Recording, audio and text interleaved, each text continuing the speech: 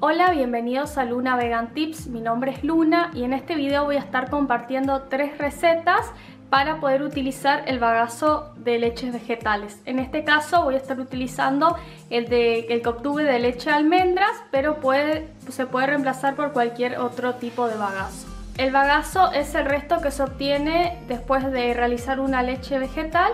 Les voy a dejar este video para que puedan ver un pedazo de lo que es un video que saqué por si, no, por si desconocen cómo realizar leche de almendras o todavía no vieron el video, pueden ir a verlo, les dejo el link en la descripción. Como ya dije voy a estar mostrando cómo realizar tres recetas. En primer lugar van a ver unas galletas, en segundo lugar unas trufas y en tercer lugar unas croquetas de arroz. Si te interesan videos como estos o videos relacionados al veganismo, te invito a suscribirte a mi canal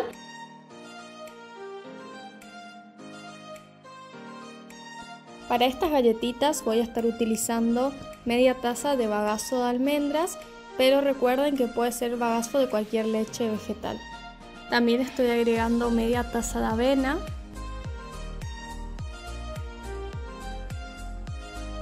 También agregamos 3 cucharadas de chía activada, de lo que llamamos huevo de chía, que se realiza con una cucharada de semillas de chía junto con 3 de agua. Agregamos 4 cucharadas de azúcar, en este caso estoy usando azúcar mascabo, pero puede ser cualquiera, una cucharadita de canela.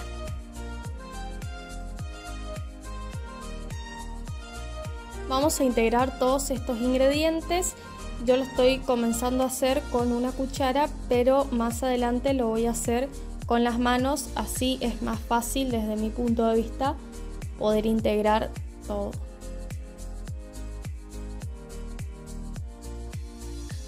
Y acá ya tenemos la masa lista como para poder empezar a formar las galletitas. Voy a dejar un tip que es eh, mojar un poco las manos, humedecerlas un poco con agua como para que la masa no se pegue en las manos. Vamos formando y colocando en una fuente para horno previamente aceitada.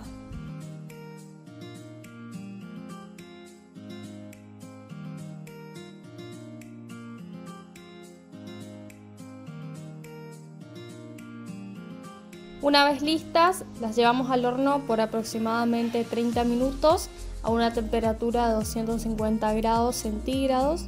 Y acá ya están listas, las saqué del horno y antes de colocar al horno coloqué unas nueces como para darle un detalle.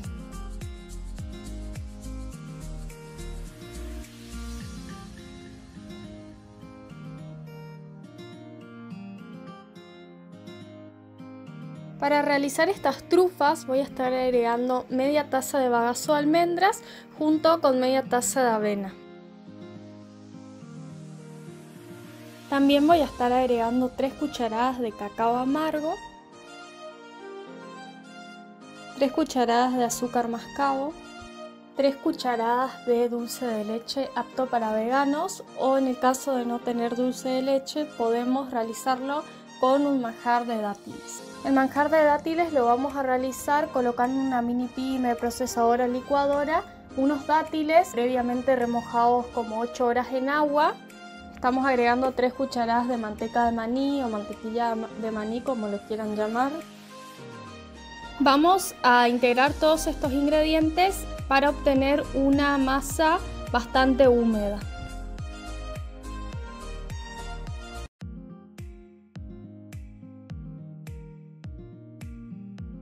Estoy agregando una cucharada más de dulce de leche o también como dije anteriormente puede ser de manjar de dátiles o de mantequilla de maní y esto es porque eh, la masa no me había quedado lo suficientemente húmeda. Para formar las trufas voy a utilizar coco rallado y las voy a colocar en un plato. Voy a ir dándole forma de bolitas y las voy a ir agregando al coco rallado y de ahí como ya dije al plato el tamaño puede variar dependiendo de cada uno. A mí particularmente me gustan bastante pequeñas.